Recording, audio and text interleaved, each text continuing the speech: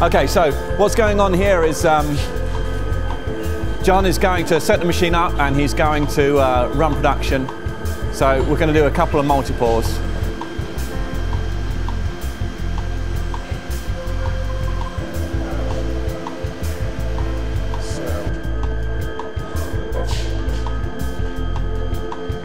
So John here, our operator, is going to demonstrate how we've prepared this file. Uh, so the fabric's been printed with uh, registration marks on one of the MTEX fabric printers that we've got here at the show today.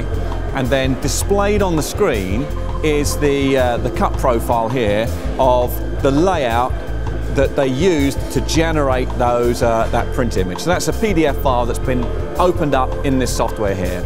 You can see in the corners we've got registration marks, which the camera is going to pick up, and then the rectangle um, gives the area that the laser is going to use to cut.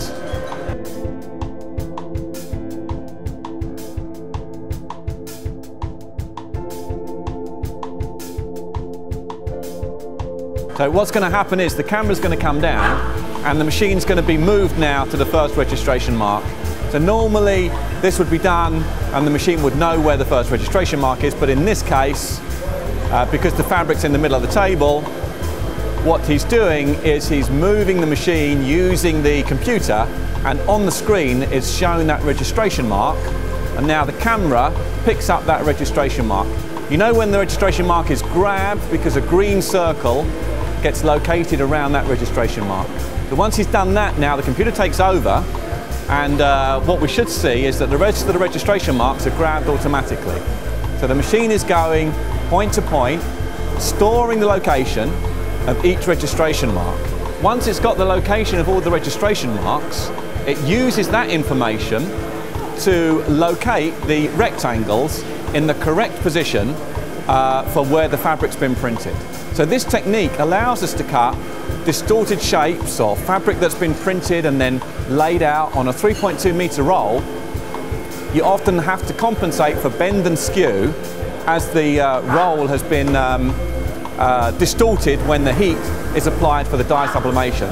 So now what you can see is the lasers running and what you'll see is that there's a cut profile being generated and the parts are being neatly cut into exactly the right rectangular shape based on the location of those registration marks. So this machine that we've got here is 3.2 meters wide and 3.2 meters long. So that's used mostly because the American format of 10 feet, which can be used for several materials. So the laser is a 100 watt laser. It's capable of cutting all the textile material at speeds of around about 800 millimeters per second. The machine is also capable of cutting rigid material both with the laser and with the knife and routing tooling. On completion of the rectangles, the machine will automatically advance and will load the next job. So now what's going to happen is the gripper bars are going to go down